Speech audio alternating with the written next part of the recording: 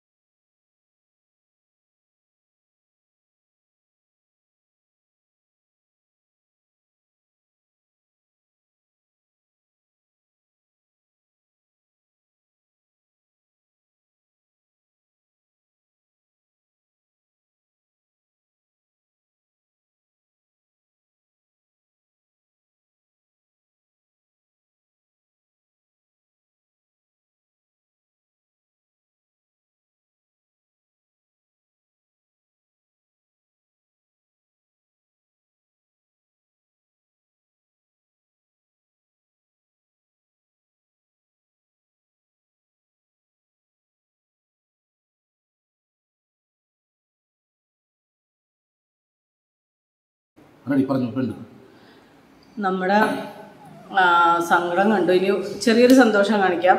വേറെ എനിക്ക് എന്താ വെച്ചിട്ട് സൗമ്യ ഷാർജയിൽ നിന്ന് സൗമ്യ കുറച്ച് പത്ത് മണിച്ചെടിയുടെ കളക്ഷൻസ് അയച്ചിരുന്നു ആ, സൗമ്യ സൗമ്യയുടെ വീട്ടിലേക്ക് അയച്ചതാണ്. വീട്ടിലേക്ക് വേണ്ടി ബുക്ക് ചെയ്തതാണ്.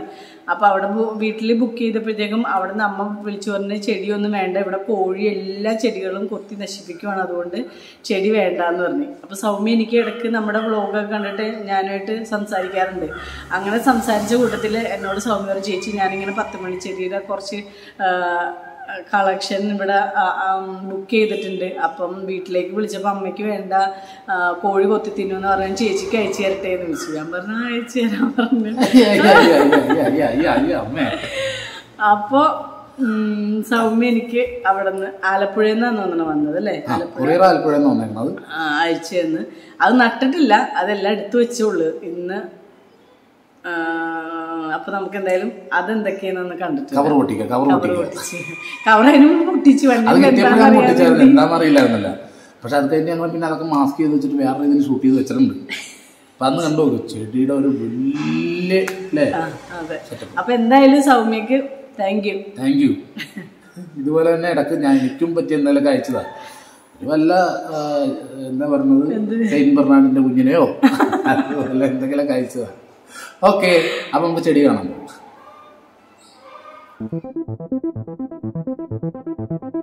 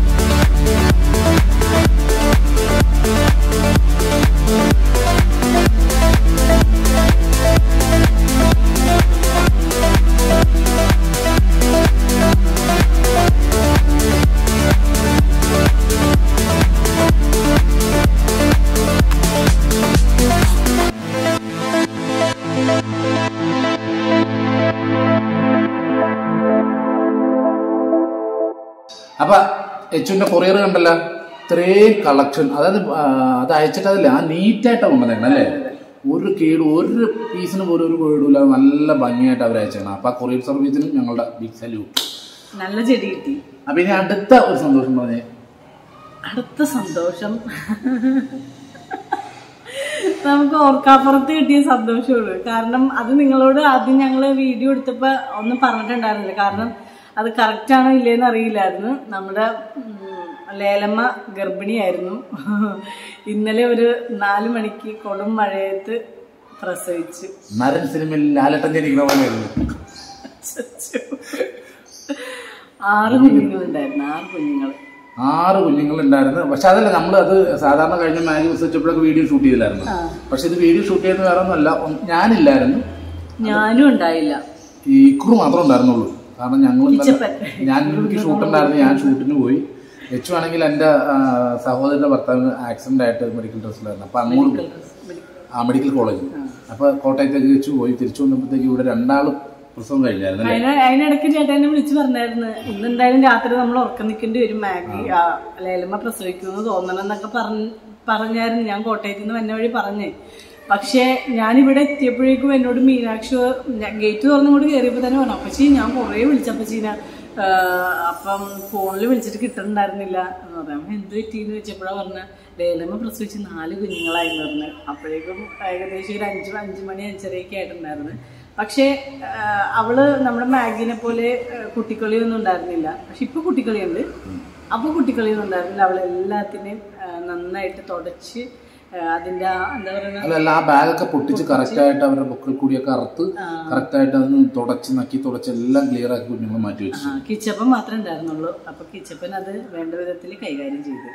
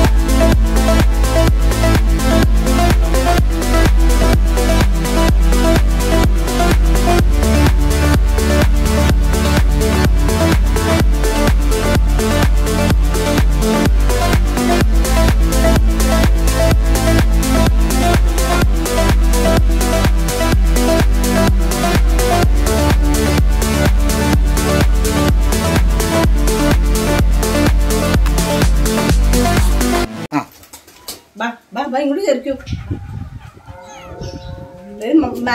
ലേലമ്മയുടെ കുഞ്ഞുങ്ങളാട്ടോ. ആറ് പേരുണ്ട്. വാ ലേല വാ വാ. വാ ഇങ്ങോട്ട് കയറിക്കും മോൻ. വാ ഡി ലേല. അവൾ ഓർഡർ കൊണ്ട് കെട്ടിയിട്ടേക്കുക അവനെ അവൾ ഓടി അവൾ ഇവിടെ കളിച്ചു നടക്കുന്നു. അവളുടെ കുട്ടികളി ഇപ്പോഴും മാറിയിട്ടില്ല. വന്നേ മോനെ. വാ ഇവിടെ വാ ഇവിടെ വാ. കുഞ്ഞുണ്ടായോ നമുക്ക് എത്ര കുഞ്ഞുണ്ടായോ.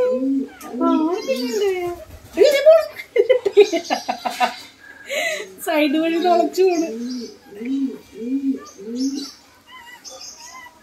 മോനി വന്നേ. നീ വന്നേടാ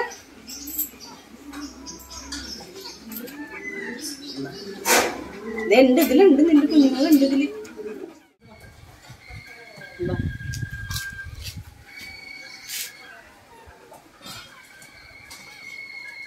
എന്തായാലും നമുക്ക് ലേലമ്മയുടെ കുഞ്ഞുങ്ങളെ അങ്ങോട്ട് തന്നെ വെച്ചു കൊടുക്കാം.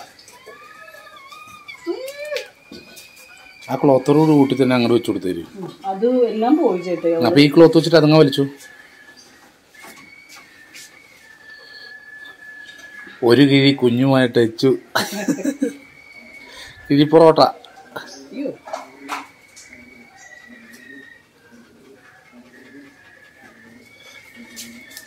മാറി ഒന്ന്. നീ മാറിക്കേ. ഓ ഇപ്പൊ എന്താണ് തിരക്ക്? ഓ ഇത്ര നേരമൊക്കെ കുഞ്ഞുങ്ങളെ വേണ്ടായിരുന്നു. ഓ. കിടന്നു.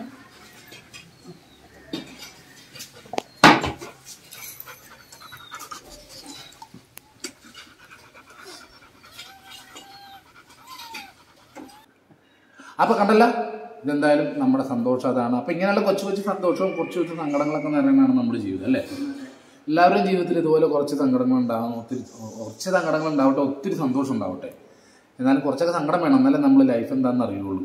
അപ്പോൾ അതുകൊണ്ട് ഇതാണ് ജീവിതം എന്ന് മനസ്സിലാക്കിക്കൊണ്ട് ഇന്നത്തെ ഈ എപ്പിസോഡ് ഞങ്ങൾ വൈൻഡപ്പ് ചെയ്യുന്നു.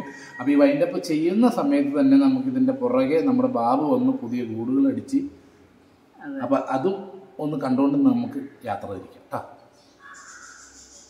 ഞങ്ങൾ എപ്പിസോഡ് ഇടാൻ വൈകണത് വേറെ ഒന്നുമല്ല ചേട്ടായിക്ക് ഇപ്പം ഇത്തിരി ഷൂട്ടിങ്ങിന്റെ തിരക്കൊക്കെ ഉള്ളതുകൊണ്ട് ഞാൻ ഒരു ഇത്തിരി എന്നല്ല ഒരുപാട് മടിച്ചായതിന്റെ പേരിലും. പുതിയ ചാനൽ തുടങ്ങാൻ പറ്റാത്തതിന്റെ ആ പ്രശ്നങ്ങളൊക്കെ ഇത് തന്നെയാണ്. എന്തായാലും കുറേ പേര് നമ്മളോട് പറഞ്ഞു പുതിയ ചാനൽ വേണ്ട ഇതിൽ തന്നെ ഇട്ടാൽ മതി എന്ന് പറഞ്ഞു. അപ്പൊ ഞങ്ങൾ അതും ഒന്ന് ആലോചിക്കുന്നുണ്ട് അല്ലേ? ഇതിൽ തന്നെ ഇട്ടാലോ എന്ന് ആലോചിക്കുന്നുണ്ട്. അപ്പൊ എന്തായാലും അടുത്ത എപ്പിസോഡ് എന്തായാലും നല്ല ഞങ്ങൾ വരാം. വരാന്ന് പ്രതീക്ഷിക്കുന്നു. കാരണം ഞാൻ എന്താണെന്നറിയില്ല ഭയങ്കര മടിച്ച് ഈ മടി മാറാനായിട്ട് എന്തെങ്കിലുമൊക്കെ ഉണ്ടെങ്കിൽ ആരെങ്കിലുമൊക്കെ ഒന്ന് എന്നെ വിളിച്ച് പറഞ്ഞാൽ വേറെ ഒന്നുമല്ല ഇതെല്ലാം ചെയ്തിട്ട് വരാൻ നേരത്തെ നമുക്ക് തന്നെ അയ്യോ എവിടെയെങ്കിലും ഒന്ന് ഇരുന്നാൽ മതി എന്നുള്ളൊരു അപ്പൊ ഞാൻ ഈ ഇരുപത്തിനാല് മണിക്കൂർ ഷൂട്ടും കഴിഞ്ഞിട്ട് ഇവിടെ വന്നിട്ട് ഇതും കൂടി ചെയ്തിട്ട് എനിക്ക് പ്രശ്നമില്ല കേട്ടാ. അങ്ങനെ കൂടെ ഉണ്ട് ഇതിലൊരു കഥ. ശരിയാണ് ശരി ശരി. അതപ്പോൾ അതെല്ലാം എന്റെ മടിയാണ്. അപ്പം എന്റെ മടി ഞാൻ മാറ്റി വെച്ചിട്ട് എന്തായാലും ഞാൻ വരും.